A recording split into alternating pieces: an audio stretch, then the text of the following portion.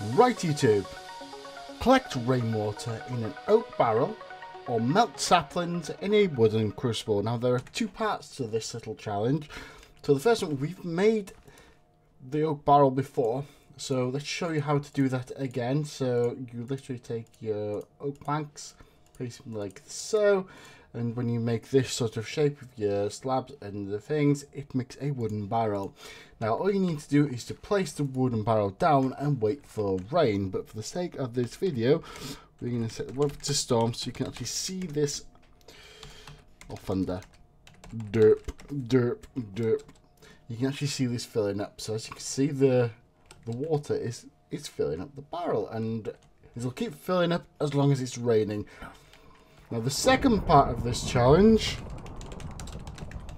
let's turn that off quickly, is to melt saplings in a wooden crucible. Now if you take your starter torch, which I've got here as an example, and then you craft this, which is called a wooden crucible. It requires six oak woods on one plank. And craft it like this, and this gives you an oak crucible. Now you take your crucible, you place it on top of the torch you have. Now I can fly around, but you'd place this a bit more sensible for yourself.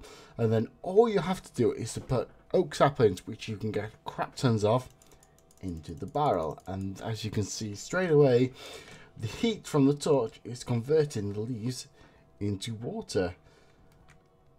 And that is about it. That is collect rainwater in an oak barrel or melt saplings into any wooden crucible. Done.